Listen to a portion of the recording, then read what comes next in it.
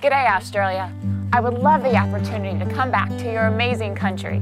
I was there in 2003 where I went backpacking for 10 months through Western Australia, up to the Northern Territory, down to South Australia, to Victoria, New South Wales, and Queensland, where I was certified as a scuba diver in the Great Barrier Reef.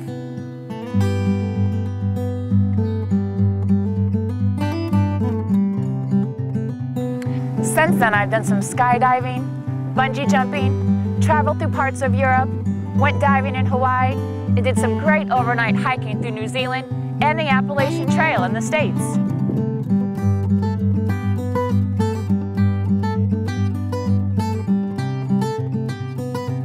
I would love to share my passion for travel, adventure, the outdoors, and my love for Australia with the rest of the world.